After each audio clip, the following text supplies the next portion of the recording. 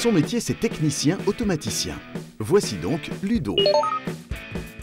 Ils remplissent des boîtes de petits pois, assemblent des téléviseurs, emballent des pots de yaourt, des pièces métalliques, mélangent des peintures, découpent des plaques de verre. Les automates sont partout.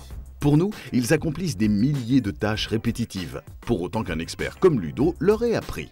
L'automatisation, c'est le but de faire fonctionner une machine toute seule. Ça facilite le travail des opérateurs, mais aussi euh, le temps, euh, le temps de production qui est fort réduit. Mon but dans ma fonction est de dépanner, euh, améliorer les machines. Ludo doit être très précis et hyper rigoureux.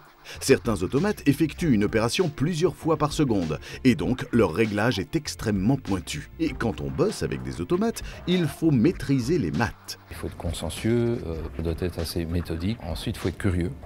Ça, c'est une très grande qualité aussi parce que si on stagne et qu'on ne s'intéresse pas aux nouvelles technologies qui, entrent dans, dans la vie, c'est pas la peine de faire ce métier-là non plus.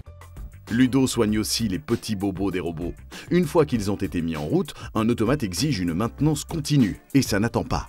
Une ligne de production à l'arrêt, ça coûte très cher. Si une machine tombe en panne, il vaut mieux qu'elle soit réparée dans les plus brefs délais, sinon c'est des retards de production, et là la société perd de l'argent. Il faut pouvoir maîtriser son stress. Euh, si on n'a qu'une seule panne, il n'y a pas de souci, mais si on est appelé sur 3-4 pannes en même temps, évidemment, il faut pouvoir gérer euh, la situation et intervenir au plus urgent. Un bon automaticien, c'est un technicien qui doit être polyvalent, qui doit être capable de résoudre des problèmes, qu'ils soient d'origine mécanique, électrique ou électronique. C'est quelqu'un qui doit euh, être créatif et qui doit pouvoir rester calme et, je dirais, calme en toutes circonstances pour faire face aux problèmes, qui trouve toujours une solution. Euh, moi, j'ai ma formation en électricité et en mécanique. Maintenant, à la CEPCA ici, j'ai eu l'occasion d'apprendre euh, l'automatisme et euh, l'électronique, l'hydraulique, la pneumatique, des domaines que je ne connaissais pas du tout avant, ce qui me fait progresser dans la société. Formation permanente obligée. Les, évolutions techniques sont là et il faut pouvoir les suivre constamment. Ludo est quotidiennement en contact avec les ingénieurs, les responsables de production ou les opérateurs des lignes de production. J'aime bien mon métier, euh, je m'entends super bien avec mes collègues. et C'est l'envie de, de dépanner. En fait, la, la curiosité fait partie de ça aussi.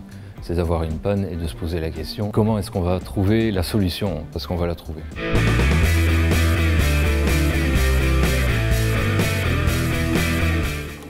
Mon métier, c'est